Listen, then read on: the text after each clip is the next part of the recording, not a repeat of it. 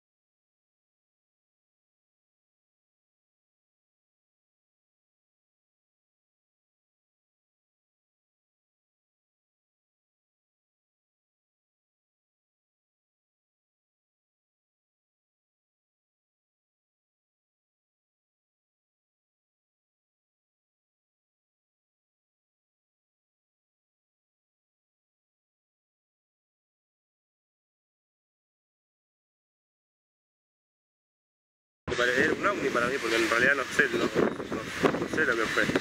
Y lo vi en este lugar, pero éramos, éramos chicos, y la verdad que no nos asustamos porque no, éramos chicos, pero por eso sí yo creo y puedo creer en, ese mito, en esa historia. Que, nos están mirando,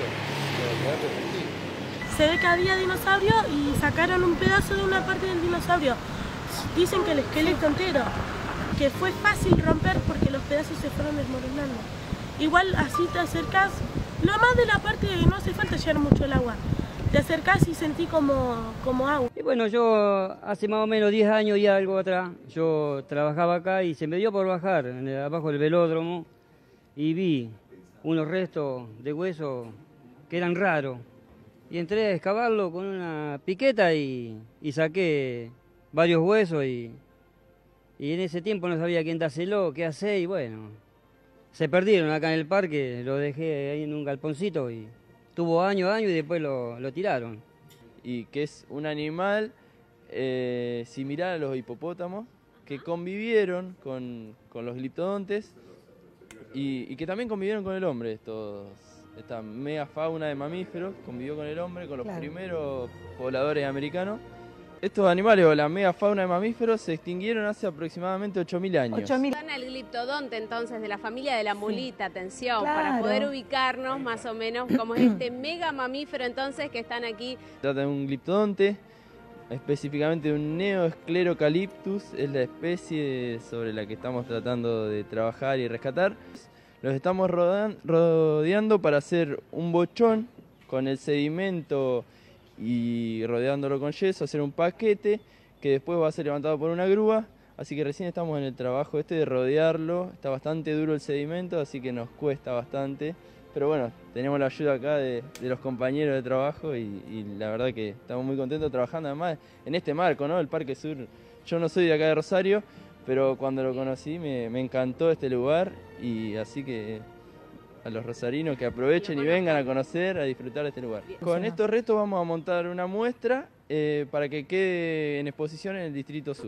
Si es posible, hagan un puente más alto, pero la cascada no la destruyan nunca, porque van a perder la belleza natural, el encanto, el, el embelezo que esto da.